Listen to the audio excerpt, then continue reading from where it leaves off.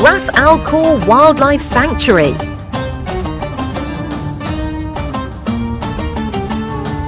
This sanctuary is the end of Dubai Creek before the construction of Dubai Canal, hence the Arabic name which literally means the head of the creek.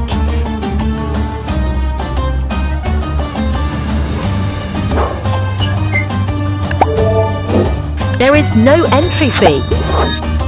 It is a wetland reserve in Dubai, renowned for attracting large numbers of migratory birds.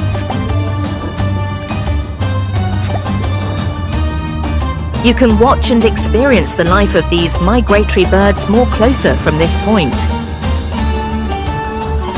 Inside the point, the details of the birds spotted here has been listed clearly.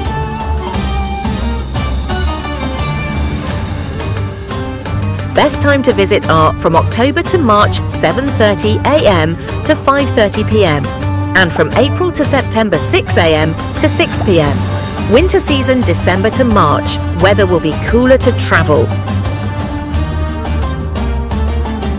Binoculars are provided at each point for closer view of the birds.